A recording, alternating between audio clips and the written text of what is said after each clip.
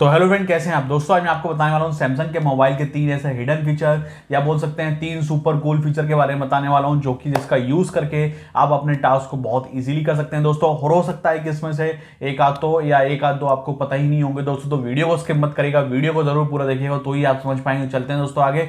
मेरा नाम सनी अरोरा और आपका स्वागत है मेरे चैनल एस टेक में।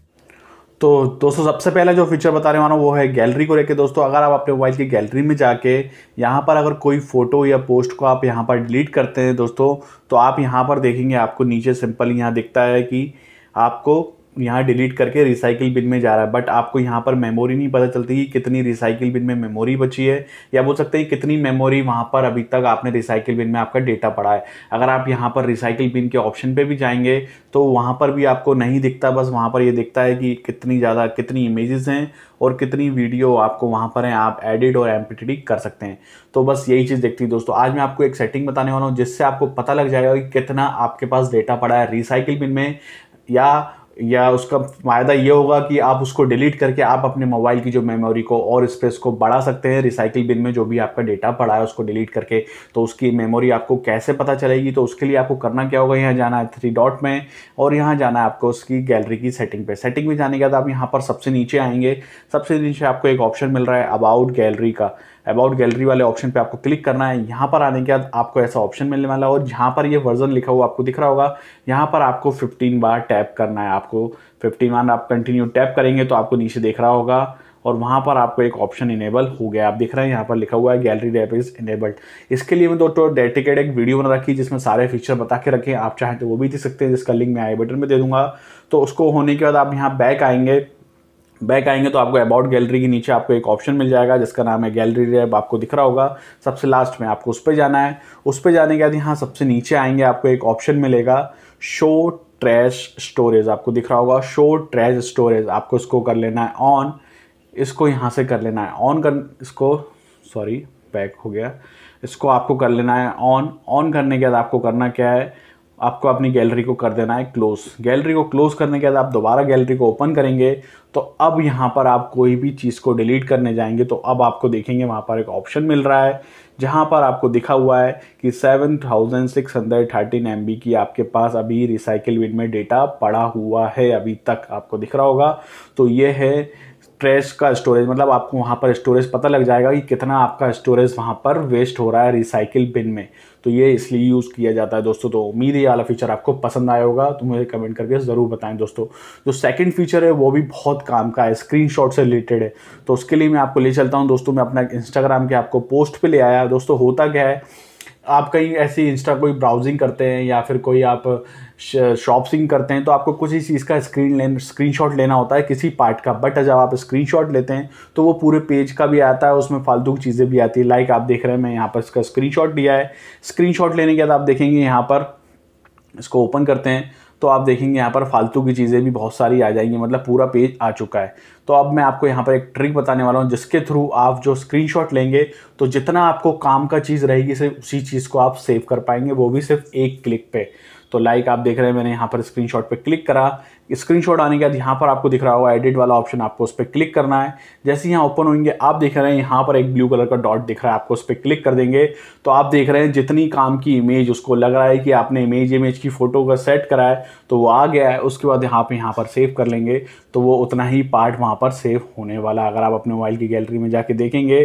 तो जितना आपने स्क्रीनशॉट वहाँ पर सेव करा है, उतना ही वहाँ पर सेट आया, जो कि बाय डिफ़ॉल्ट बहुत ही शानदार फीचर लगता है। एक ही क्लिक में आप इसको कहीं भी यूज़ कर सकते हैं। मैं इंस्टाग्राम पे इसलिए यूज़ करके दिखा रहा हूँ अपनी पोस्ट पे बिकॉज़ आपको बताया कि कॉपीराइट का इशू रहता है। मैं इसलिए अपनी पोस्ट पे, आप कोई सी भी पोस्ट पे जाएँगे या कोई से भी आप वेब ब्राउज़र पे यूट्यूब पे गूगल पे सर्च पे कहीं की चीज़ का स्क्रीन लेंगे, वो ऑटोमेटिक डिटेक्ट कर लेगा कि आपने किस चीज़ का स्क्रीन लिया। लाइक मुझे यहाँ पर इसका लेना है।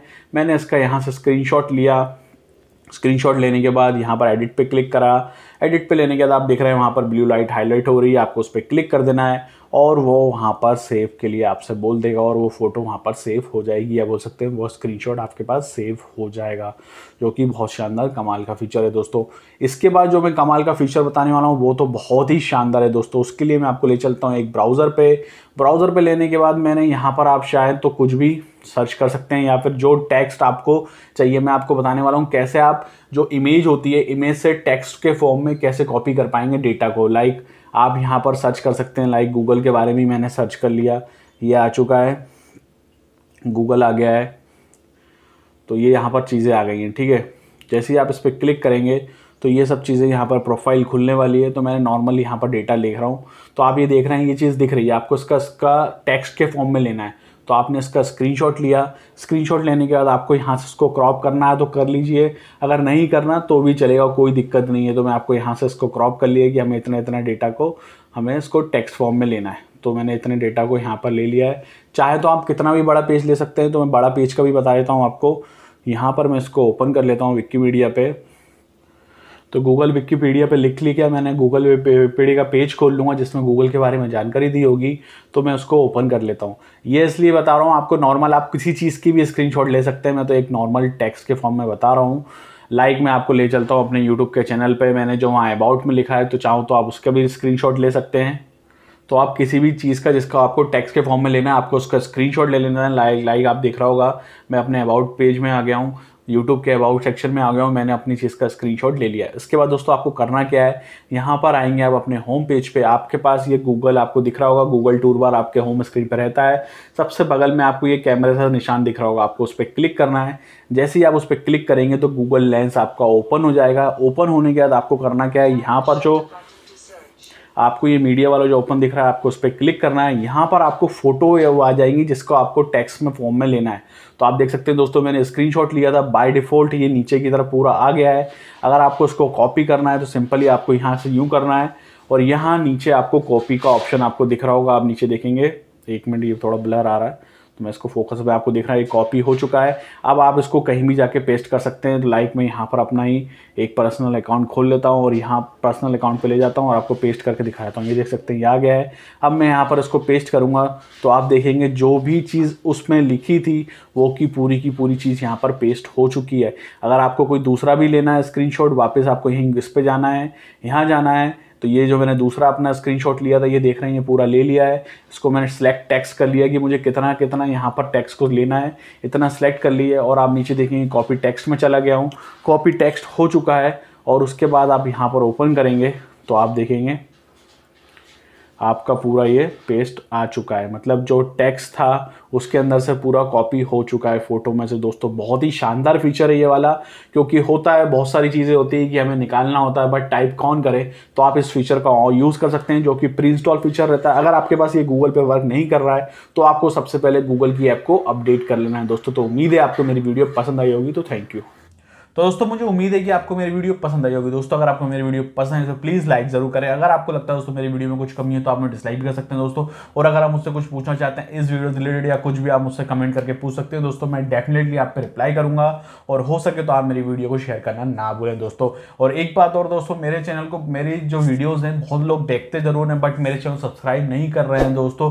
प्लीज़ मेरे चैनल सब्सक्राइब करना ना भूलें। अगर आपको कुछ प्रॉब्लम है या मुझसे कुछ पूछना चाहते हैं तो मुझे कमेंट करके ज़रूर बताएँ। मैं डेफिनेटली उसको कोशिश करके आपका आंसर देने की ज़रूर कोशिश करूँगा दोस्तों। प्लीज़ मेरे चैनल सब्सक्राइब करना ना भूलें, ताकि मेरे चैनल की नेक्स्ट वीडियो की अपडेट आपको सबसे पहले मिले दोस्तों। और हो सके तो मुझे इंस्टाग्राम और फेसबुक फॉलो करना भी ना भूले, जिसका लिंक आपको नीचे डिस्क्रिप्शन पर मिल जाएगा।